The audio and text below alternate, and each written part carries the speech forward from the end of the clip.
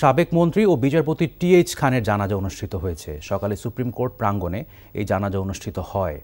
রাজধানীর একটি হাসপাতালে চিকিৎসাধীন অবস্থায় রোববার বিকেলে মারা যান তিনি। তার বয়স হয়েছিল একশো দুই বছর। তিনি একাধারে সুপ্রিম কোর্টের আইনজীবী ও বিচারপতি ছিলেন। এরপর বিএনপির ভাইস চেয়ারম্যান ছিলেন।